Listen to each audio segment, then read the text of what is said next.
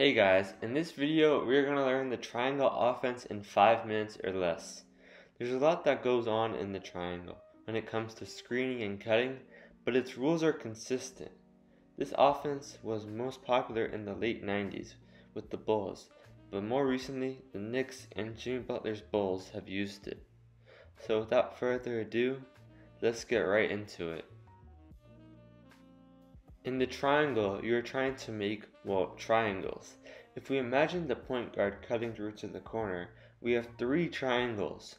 One in the corner, one towards the top, and one on the backside.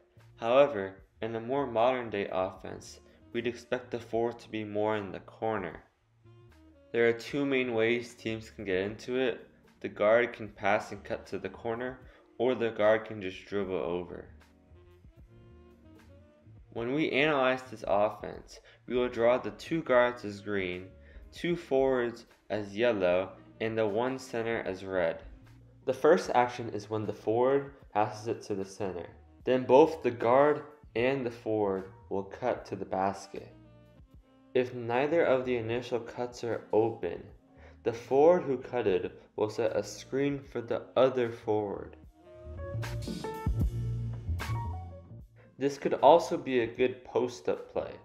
If you have an interior force, you have to be very patient here. You see he waits for all the cutters, and when none of them are open, then he shoots. The second option is to pass it back up to the guard. Then the main thing the guard will do is give the ball to the weak side forward and run off him. If that initial cut isn't open, they can reset it and go into a pick and roll.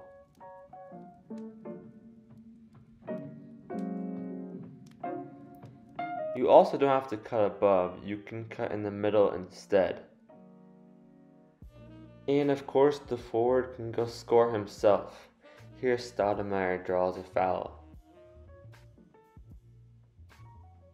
They can also double the play. First, Jimmy gives the ball to Boozer, the weak side four. Then they reverse it. A back screen is set, and boom, a dunk.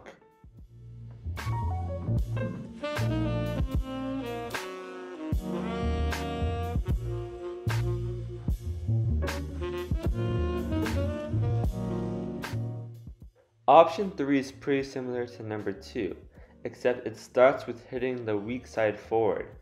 As soon as that happens, the guard will back cut. Just like option 2, you can have someone come up from the corner. You could rerun the pick and roll.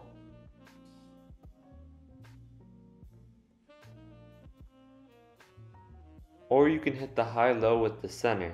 And finally, option 4. You start in a very defined triangle.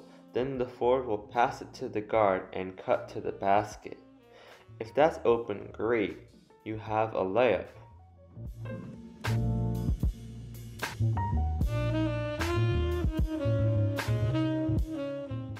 More often than not, though, it just becomes a side pick and roll or dribble handoff.